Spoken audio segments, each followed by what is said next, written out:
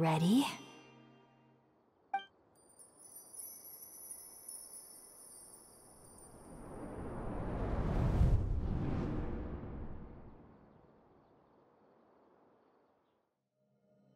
It took three betrayals for me to finally understand.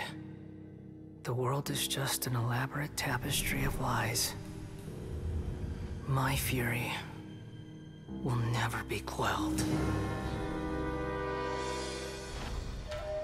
The first to betray me was a god. My creator. My mother.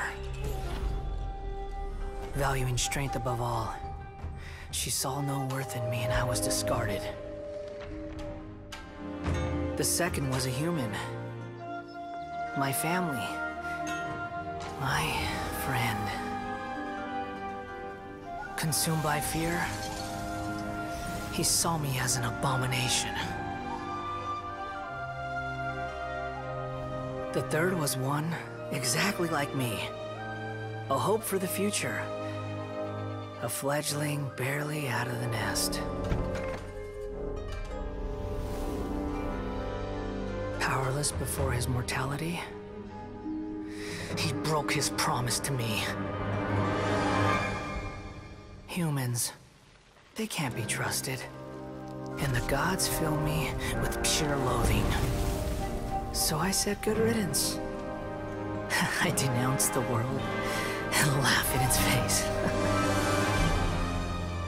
My chest will never again be defiled by worldly filth.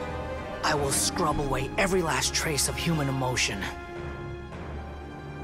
Then it will be empty, a blank slate, and ready to receive a supreme gnosis, brimming with pure divinity.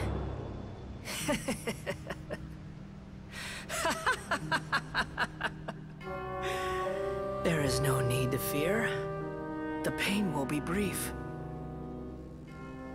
Your era is coming to an end.